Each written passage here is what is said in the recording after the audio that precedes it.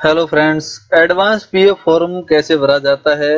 अभी इस वीडियो में मैं आपको पूरा प्रोसेस स्टेप बाय स्टेप समझाऊँगा। तो आप इस वीडियो को पूरा देखिए।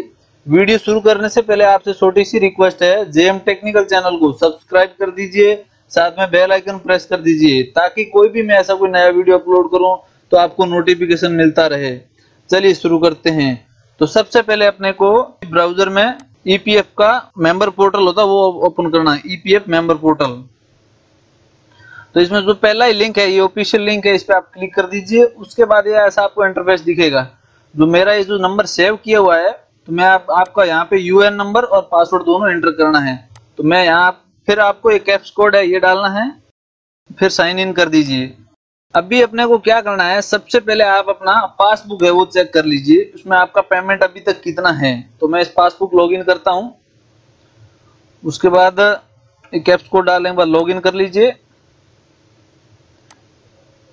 अभी यहाँ पे क्या है? ये है जो दो जगह काम किया हुआ है, दो आईडी है तो इसमें दोनों का अलग अलग बैलेंस होता है। तो एक में ट्रांसफ़र करने के लिए अलग से प्रोसीजर होता है, उसको ट्रांसफ़र भी कर सकते हैं, या फिर उसको अभी निकाल भी सकते हैं। तो इसका मैं व्यू पासबुक चेक कर लेता हूँ अमाउंट अभी कितना है। डाउनलोड कर देता हूँ। डाउनलोड होने के बाद इसको ओपन कर लीजिए। अब इसमें देखिए आपका टोटल अमाउंट है कितना। Twenty three four four seven seven one one eight something अट्ठाईस एक हज़ार करीब होगा। तो अट्ठाईस हज़ार में आपको सत्तर परसेंट आप इसमें एडवांस निकाल सकते हो। जितना भी आपका अमाउंट होता है टोटल उस अमाउंट को आप मल्टीप्लाई करके और इसमें सत्तर परसेंट आपका कितना अमाउंट होता है, उतना आप अमाउंट निकाल सकते हैं।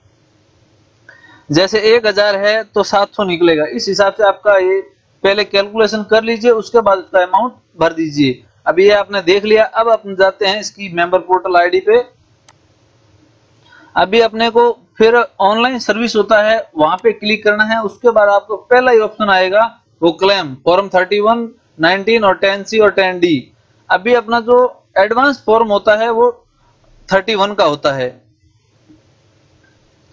अब इसमें आपको ये जो अकाउंट नंबर है, उसमें लास्ट का फोर डिजिट यहाँ पे एंटर करना है।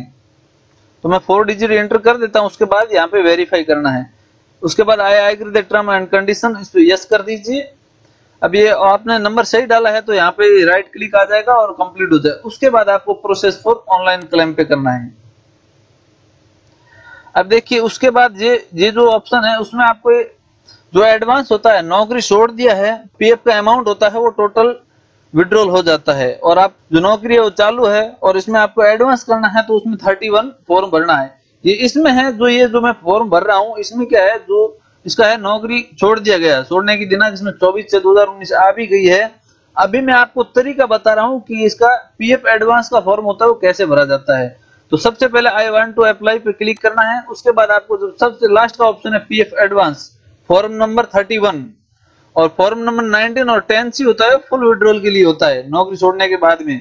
तो अभी खाली मैं आपको तरीका बता रहा हूँ इसका, जो पीएफ एडवांस होता है वो कैसे विड्रॉ होता है। तो आपको खाली जो प्रोसीजर होता है वो सेम ही होता है, कोई फ़र्क नहीं होता। इसमें खाली फॉर्म भरना अलग अलग होता है।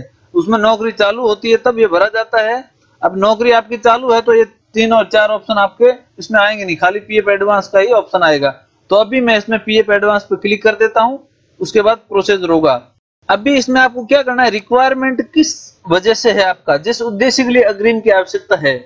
Purpose for which advance is required तो आपको किसके लिए है? कंस्ट्रक्शन के लिए है एडवांस फॉर जो आपको जिस की ज़रूरत है, उस हिसाब पे आपको यहाँ पे क्लिक करना है। जैसे बीमारी है, कोई बीमारी से वजह से है कोरोना भी चल रहा है तो इस वजह से बीमारी का भी हो सकता है तो इलनेस पे क्लिक कर दीजिए। उसके बाद आपको सत्तर परसेंट आपका इसमें कितना अमाउंट है, वो उतना ही अमाउंट डालिए। अमाउंट आप ज़्यादा डाल दोगे तो आपका फॉर्म रिजेक्ट हो जाएगा। कम डालोगे तो आ जाएगा, सत्तर परसेंट से ज़्यादा अमाउंट नहीं डालना है। तो जैसे मेरे को अभी सत्तर परसेंट की भी ज़रूरत नहीं है, और मेरे को खाली पंद्रह हज़ार की ज़रूरत है टोटल अमाउंट है मेरा अट्ठाईस हज़ार इसमें। तो मेरे को खाली पंद्रह हज़ार की ज़रूरत है तो आप जितना ज़रूरत है उस हिसाब से आप निकाल सकते हो। तो मैं इसमें पंद्रह हज़ार एंट्री कर देता हूँ। उसके बाद आपको यहाँ पे एड्रेस डालना है। अभी एड्रेस डाल दिया, उसके बाद में आपको यहाँ पे सिलेक्ट स्टेट पूछेगा तो जो स्टेट लगता है वो स्टेट डाल दीजिए। उसके बाद आपको फिर डिस्ट्रिक्ट पूछेगा। वो डिस्ट्रिक्ट डाल दीजिए। उसके बाद फिर आपने को जो सिटी का होता है पिन कोड नंबर वो यहाँ पे डालना है। फिर अपने को जो upload scan of chequebook and passbook जो अपना अकाउंट नंबर इसमें दिया हुआ है, उस अकाउंट की या तो पासबुक अपलोड करनी है या फिर चेकबुक। चेक चेक है आपका, चेक कैंसिल चेक करके सिंगल चैन स्कैन करके विदाउट साइन करना है। खाली दो लाइन मार के कैंसिल लिख देना, उसके ऊपर फिर इसको अपलोड करना है। ये ओनली फॉर आपका अकाउंट वेरीफाई करने के लिए ही अपलोड किया जाता है। या तो आपका बैंक की पासबुक हो, या फिर आपका चेक हो। कोई भी एक चेक हो, उसको कैंसिल करके साइन वाइन उस चेक पे नहीं करना है। डायरेक्ट कैंसिल करके स्कैन करके इसको अपलोड करना है। इस जो जेपीजी होनी चाहिए, इसकी फ़ाइल होती है, वो पीडीएफ वगैरह इसमें सपोर्ट नहीं होगा और इसमें 100 से 500 केबी के बीच में होना चाहिए। इसकी साइज़ भी साइज़ तो 500 के भी बहुत है इसमें। वो कोई इशू नहीं। अभी इसको चूज़ फ़ाइल कर देता हूँ। तो मेरे पास अभी है जो ये पड़ा है पासबुक तो इसको अपलोड कर देता हूँ। पासबुक पे आपका बैंक का स्टैंप और आपका फ़ोटो और उसमें साइन किया हुआ होना चाहिए। नहीं तो आपका एप्लीकेबल ये नहीं होगा। नहीं तो ये रिजेक्ट कर दिया जाएगा फॉर्म उसके बाद में फिर अपने, मैं प्रमाणित करता हूँ कि मैंने यूएन पोर्टल पर सभी डाटा भली भांति देख लिया है, तथा फॉर्म नंबर ग्यारह नया बैंक खाता विवरण और आधार संख्या सहित सभी डाटा सही पाया गया है। तो ये आपका डाटा जो आपने लिखा है, वो बिल्कुल सही है, उसमें कोई गलत नहीं है। तो आपका ये फॉर्म अप्रूव हो जाएगा। अन्यथा आपका ये फॉर्म रिजेक्ट कर दिया जाएगा। अब इसमें जो ये क्लिक मार्क है, उसको राइट क्लिक करना है। क्लिक कर दीजिए फिर अपने को गेट आधार ओटीपी जो आधार कार्ड पे मोबाइल नंबर रजिस्टर्ड है, उस पे आपका ओटीपी जाएगा। जैसे कि आपका, जो इसमें यूएन में नंबर दिया हुआ है, उसमें ओटीपी नहीं जाएगा। अब जो आधार कार्ड में मोबाइल नंबर रजिस्टर्ड होना भी ज़रूरी है। आपका आधार कार्ड में मोबाइल नंबर रजिस्टर्ड नहीं है तो आपका ओटीपी जाएगा भी नहीं और फॉर्म एक पूरा कंप्लीट नहीं होगा। तो अब इसमें गेट आधार ओटीपी पे क्लिक कर देते हैं। अब ये ओटीपी भेजने बाद यहाँ पे आपको ओटीपी डालना है। जैसे ओटीपी आ गया तो ओटीपी डाल दिया ओटीपी छह डिजिट का कोड आएगा वन टाइम पासवर्ड तो इसके बाद फिर validate OTP and submit claim form पे कर देना है। ये सबमिट होने के बाद में आपको ऑनलाइन जाके क्लेम स्टेटस पे जाके चेक कर सकते हैं। यहाँ पे जैसे कि ये तीन फॉर्म भरा गया है रिजेक्ट हो गया है किसी कारण।